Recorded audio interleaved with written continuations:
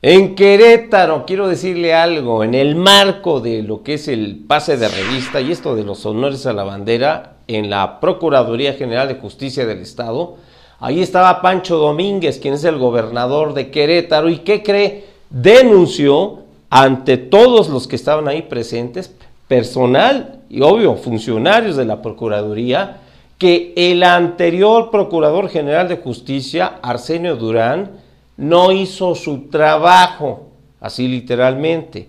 Lo que le ha faltado, sabe, es así, en palabras propias del mismo gobernador, le han faltado lo que se llama autoridad. Chéquelo usted. Lo que ha faltado se llama autoridad, sostuvo el gobernador de Querétaro, Francisco Domínguez Servién, al momento de señalar que el pasado Procurador General de Justicia, Arsenio Durán Becerra, no hizo su trabajo en este rubro. Y esto es, que quede claro, es como nos dejaron el Estado, una falta de autoridad que no existió en esta propia Procuraduría, pues parecía que no había procurador el procurador pasado, eh, que tiene nombre el señor Arsenio Durán, no hacía su trabajo.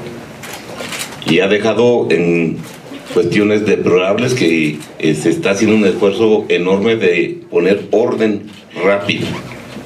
En el marco de la ceremonia de pase de revista y honores a la bandera en las instalaciones de la Procuraduría General de Justicia, el mandatario estatal reiteró que en esta administración habrá mano firme y cero tolerancia contra los delincuentes.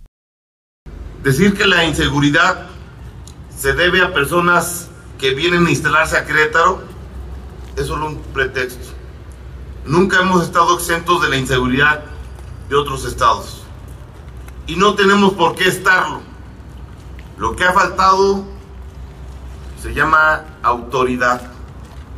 Recordó que su tarea es construir un Estado de Derecho, es decir, nadie por encima de la ley, y que la obligación es reconstruir instituciones de seguridad y justicia, sólidas, honestas y confiables. Domínguez Servién añadió que existe total disposición de la Sedena para que exista una coordinación con las corporaciones de seguridad de Querétaro al momento de que les hagan el telefonazo, a efecto de mantener la paz y la tranquilidad en el Estado. Descartó que el ejército patrulle las calles de la entidad, pues enfatizó que la que tiene que actuar es la policía estatal. No, no estamos solicitando la intervención del ejército, de ninguna manera.